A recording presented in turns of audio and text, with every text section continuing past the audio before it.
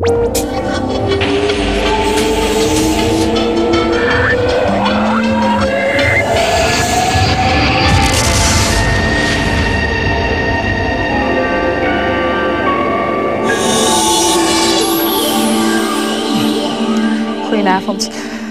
Normaal is uh, misschien wel het beste exportproduct dat de Achterhoek heeft. En misschien ook wel, uh, en, nou, in ieder geval ook belangrijk in Nederland. En de zanger en tekstschrijver Benny Joling is een van Nederlands meest bekende zangers. Um, hij staat uh, regelmatig op het podium, als hij tenminste niet in het ziekenhuis ligt. Hè? Want daar ben je weer net uit, toch? Ja, en, en, Maar afgelopen zaterdag had je ben je met brancard het podium opgedragen, hè? Ja, maar dat in was, Dalfsen. Ja, maar dat was meer om... Uh, aan, een grapje. Om, uh, het eerste nummer, dat is op eigen kracht. En dat heb ik geschreven toen ik in 92 uit het ziekenhuis kwam. En dat vond ik nou een heel toepasselijk nummer. Dus Ja. om dan ook op brancard binnengebracht te worden... was meer om de mensen eraan te herinneren van... ja, ik kom net uit het ziekenhuis. Ja, want het was een, maand geleden, hè? Even, even het, Ja, eh, precies vier weken, ja. Ja, nu. En je had, ik moet het even, je had hartritmestoornissen, een gebroken borstbeen, een kniefractuur, ehm, een vleeswond. Hè? Want je, hebt, eh, je bent in, in volle snelheid eh, tegen een Frontaal tegen een boom. boom.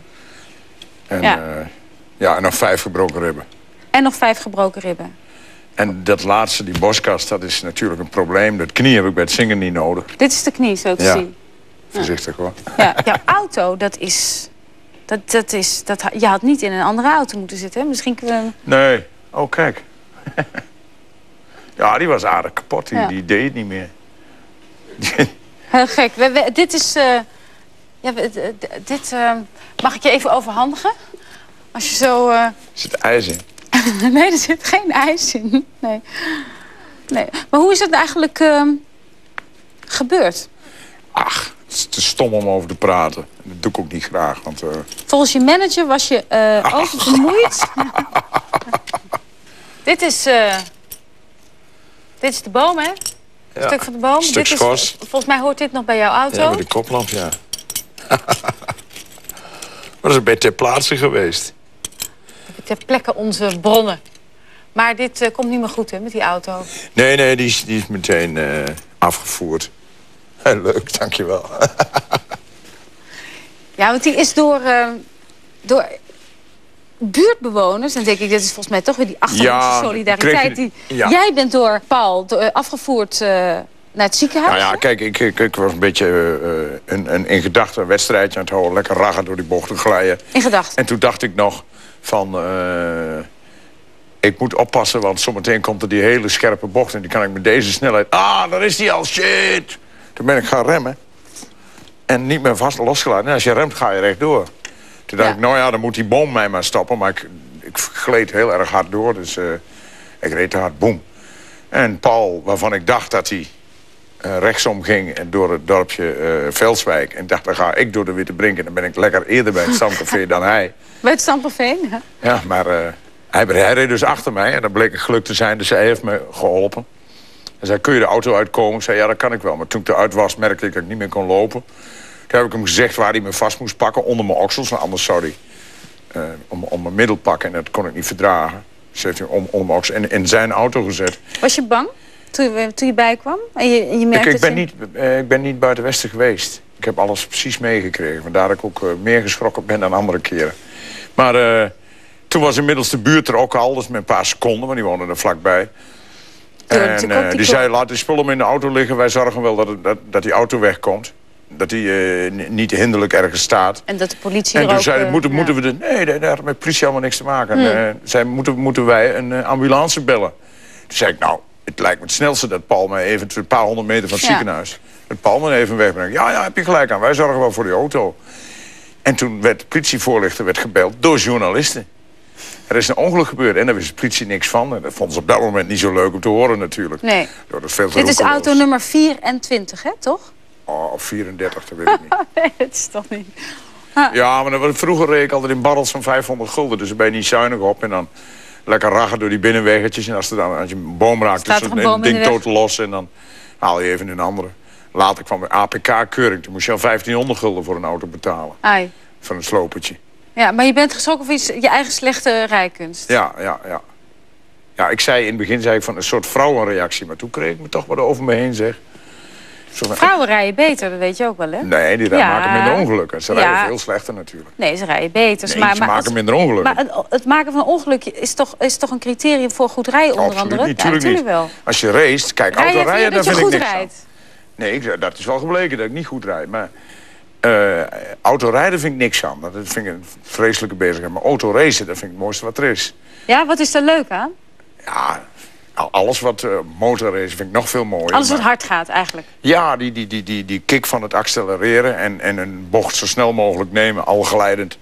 En ah, dat ging weer goed, klasse. De volgende keer probeer ik nog vijf kilometer harder erdoor. Kijken of dat ook kan. Ja. En als je dat, daarmee bezig bent, dan maak je ieder... Kijk maar naar een Grand Prix, eh, Formule 1 of wat dan ook. Ja. Die mensen raken voortdurend van de baan af. Als je gaat racen, dan hoort dat erbij. Ja. Zoals bij het motocrossen of racen hoort erbij dat je zo nou en dan valt.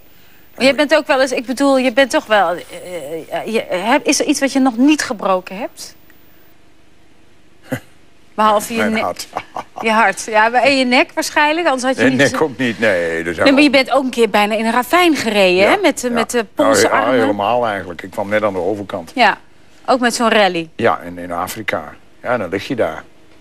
Nou, Maar dat, is- dat, toen had ik een bijna doodervaring. Dat wil zeggen dat... eh, ik weet niet of zoiets religieus is, maar ik zag mijn hele leven chronologisch... in die twee seconden, hoe lang is dat, dat je zweeft boven de... Ik, ik heb nog nooit leven boven een, voorbij een eh, eh, trekken. ravijn gezweefd. Ja? Ja, ik dacht, dit komt niet goed. En ik dacht nog van bepaalde dierbaren die er niet meer waren... zei ik, nou kom ik naar jullie toe. Of waar jullie zijn, dan ga ik nou ook naartoe. Dat, daar was ik van, op dat moment wel van overtuigd. Ik heb het dus overleefd, maar... Verandert zoietsje? Ja, eigenlijk wel minder dan ik zelf zou denken. Dan men zou denken. Hm. Maar ik, ik bedoel, mijn liefde voor motorrijden is er nooit minder om geweest. Ik ben daarna gewoon weer op een motor gestapt. En met al die auto's die ik plat gereden heb, is hetzelfde eigenlijk. Maar wat is Alleen er... nu ben ik harder geschrokken dan ooit. Omdat ik het allemaal ontzettend bewust meemaak. Maar ik las ook, weet je, dat mensen in 92, toen schijn heb je ook een vreselijk ongeluk gehad. In heen- 92 was de eerste keer dat ik lichamelijk letsel had. Ja. Daarvoor- Totaal los, niet jij, de auto, maar jij ook. Hè? Je hebt een jaar eh, uit de, ben je uit de running Ja, geweest. bijna, ja. Toen zeiden mensen om je heen van, nou, hij is echt, eh, hij is echt, hij is echt veranderd. Hij is er echt door. eh, Maar dat is dat, dat. Ja. Ja, maar dat was toch tijdelijk. ik kon toen een... eh, ik lag er een half jaar uit. Hm. En dat, dat is ook niet fijn. Maar, maar hoe, hoe gaat het dan eh, ehm, Dus dan ben je even anders. thuis met jou? Want ik kan me voorstellen dat, weet je, dat het je een paar keer overkomt. Maar dat, je hebt een vrouw, Ellie. Nou, die kan dus weer, waar was het? De bocht van wat? De bocht van, eh, bij Zellem, toch? Ja, ja, ja. Nee, je, je had het daar straks dat je de korte bocht of de korte Ja, ja, route ja, bij de Witte Brink, ja, ja. bij de Witte Brink. En dan denk je, nou, onze Ben weer tegen de boom in de Witte Brink. Ik bedoel, Nou ja, die gaat, ik zou niet meer naar het ziekenhuis gaan, denk ik. ja, dat zou je allemaal aan haar moeten vragen. Dat, ze, ze was niet erg vrolijk mee, dat eh, kan ik wel vertellen. Ja. Voor de rest wil ze graag overal buiten de puberteit Ja. zo gehouden worden. Maar ze zegt niet van eh, geen motor meer, geen uh, sodemiet erop met Ik denk je... dat ze wel inziet dat dat geen zin heeft. Ja. Dat ze, eh, ja, ik zie ook niet waarom. Ik bedoel, eh, Ja. op een motor heb ik eigenlijk eh, ja, weinig meer narigheid gehad dan botbreuken. Vind je het bij het, hoort het bij het, het hoort een beetje ook bij het imago van normaal, hè? Dat rijden, Nou, motoren. Ja, kijk, ik, ik, ik, ik, hou van uitdagingen. Eh, parachute springen, eh, marathon lopen in New York, Parijs-Dakar rijden. Als mensen me dat soort dingen vragen, zou je dat willen? Dan ja, roep ik al voordat ja. ze uitgesproken zijn. En waarom, doe, waarom is dat? En dan kan ik zeggen, ja, ik heb dat ook gedaan. Ik ben erbij. Dat is het. En, en, eh, een verzamelaar van ervaringen. Maar als iemand zegt, wil je in een glasbrak eh, springen vanaf 10 meter? Nou, als iemand anders dat voordoet en, en laat zien dat dat, eh, Denk jij, dat, dat yes. kan.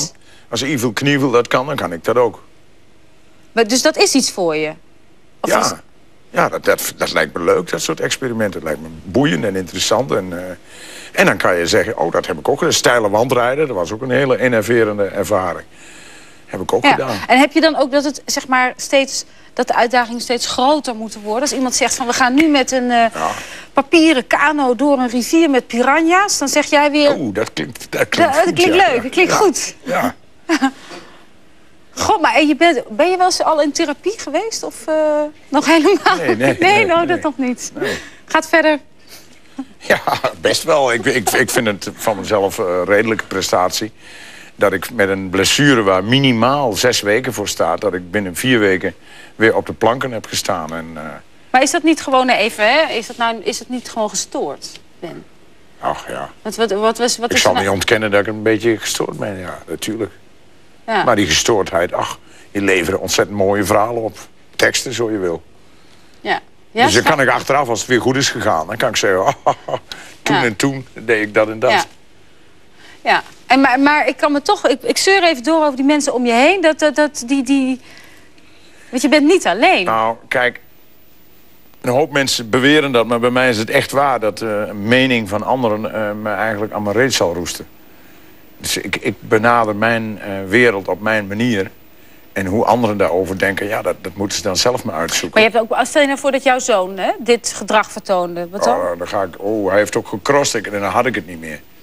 Verschrikkelijk. Oh, ah. was uh, oh, rampzalig. Als die, ik rende de baan bijna helemaal met hem mee. Uh, oh ja. En in de hoop dat hij maar niks kreeg. En, en als hij dan viel en ik stond erbij, nou, nou vreselijk. We gaan even um, een kleine... Want, hè, dat we even zien wat jij natuurlijk, waar je beroemd en bekend mee bent geworden. Dit is de band. Hé, hey, dat is lang geleden. Jan? Ja.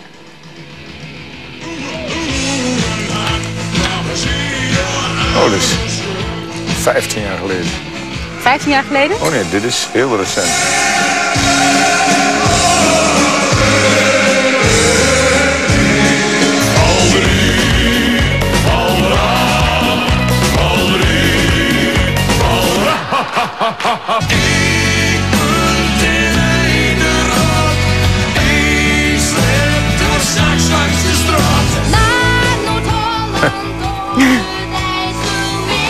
Dit heb ik zelf nog niet gezien.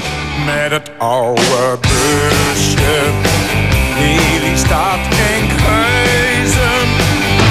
Die kekko aan, die kekko ook aan. Die kekko aan, die kekko ook aan.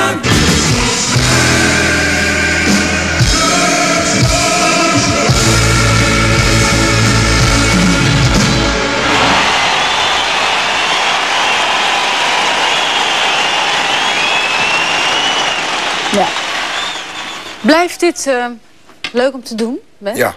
Ja?